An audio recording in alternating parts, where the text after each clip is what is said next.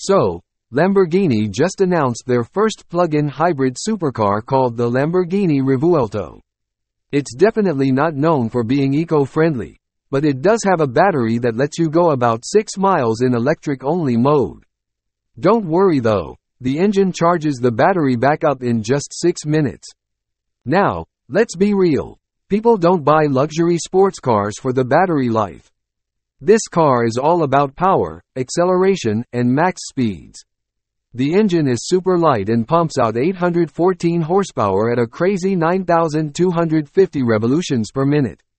The design is also heavily influenced by aerospace engineering, with cool hexagonal exhausts and pointed lines.